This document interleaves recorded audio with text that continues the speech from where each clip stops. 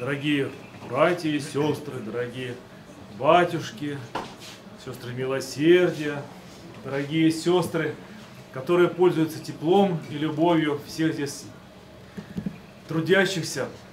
Всех вас хочется поздравить сегодняшним днем, напомнить, а, что батюшка преподобный Серафим Саровский говорил про счастье, о том, что счастье и настоящая цель жизни человека, и тем более христианина, это собирать, как пчелка собирает мед, в этом ее а, смысл ее пчелиной жизни. Если собирает пчелка, если не собирает, зачем живет? Для человека таким смыслом является собирание благодати Духа Святаго. И батюшка преподобный Серафим говорил, как вышедший из среды купцов, купеческой среды, то есть из среды торговцев. Он говорил о том, что в этом деле духовном, в духовной жизни надо как в торговле смотреть, что тебе больше приносит прибыли. Тем и торговать. Если семечки приносят мало, а нефть много, ну значит надо торговать нефтью. А если у тебя есть возможность торговать нефтью, а ты идешь на рынок семечками, то это неправильно. Мало заработаешь. И в духовной жизни надо искать того дела, которое приносит тебе больше благодати Святого Духа. Каждому человеку это, это индивиду, для, этого, для каждого человека это индивидуальная мера, индивидуальный товар. То дело, которое будет приносить человеку благодать Духа Святаго. Есть люди, для которых эта благодать открывается в чтении Евангелия, Священного Писания. Такие люди читают, размышляют, Господь открывает смысл, они толкуют. Есть люди, которые э, эту благодать обрели тогда, когда э, не согласились отречься от Христа. Сегодня э, такие мученики Ювентин и Максим, воины. Ну, казалось бы, никакие там, ни монахи, ни, ни сестры милосердия, воины. Вот как сейчас воины на специальной военной операции и жили во времена когда главнокомандующим римским воинством был язычник, и они, между, а они христиане, между собой не обсуждали, вот как трудно бывать быть христианином под начальством язычника. Другие услышали и, как это, сдали, настучали. Соответственно, пришли обученные люди и забрали их, и выяснив, что они христиане, действительно, принуждали их отречься от Христа, они отказались, их посадили в тюрьму.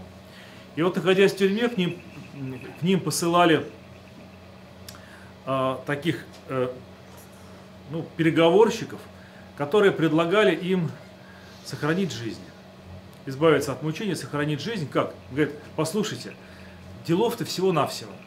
Ну что вам этот Христос? Ну вы скажите, что вы не христиане, что вы нормальные язычники, как и все люди. Посмотрите, вот между прочим, до вас здесь сидело много таких, как вы.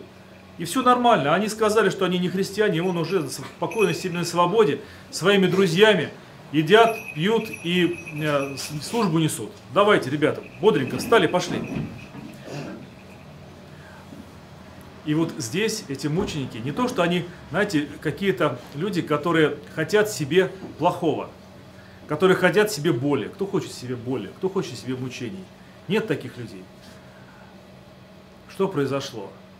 Они вот здесь ощутили, что если они останутся верными Христу, близкими Христу, честными по отношению к Нему, то та радость, та благодать, которую они обретут от Христа, она несравнимо больше, чем та вот радость общения с друзьями, с товарищами, которую они получат в войсках. Поэтому они говорят – до нас многие отреклись, до нас многие отказались. Так для нас это особая честь и радость, раз другие отказались хотя бы нам сохранить верность Христу. И они пошли, исповедовали себя христианами, подписав себе смертный приговор, претерпели мучения, были убиты.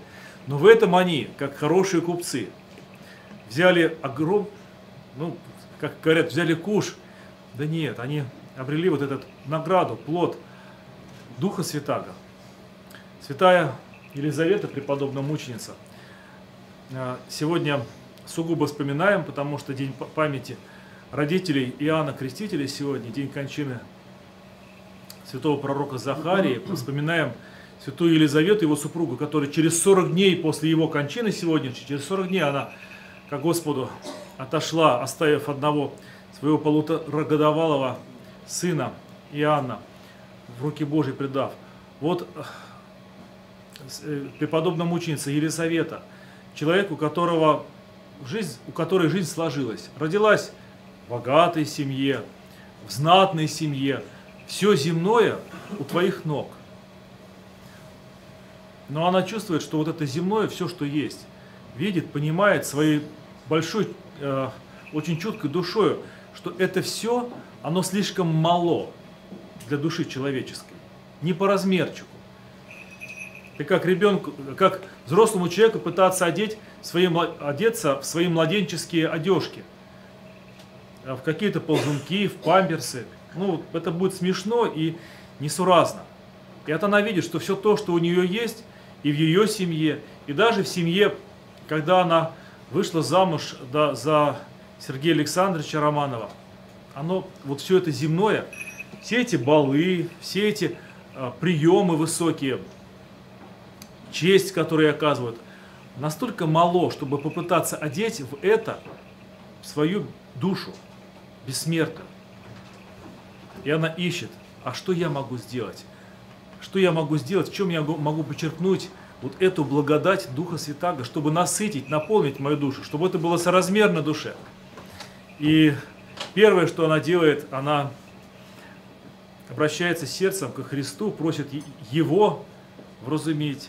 Господь ей полагает на сердце принять веру православную, а затем и до того, как ее, э, Господь забрал ее супруга, а уж после того, как в 1905 году от рук террориста погиб Сергей Александрович, она целиком себя посвящает вот делу, которое дает много благодати. Она идет э, к нищим, она идет в, в э, районы Москвы, где живут люди второго сорта, люди, которые никому не нужны, брошенные, женщины, дети.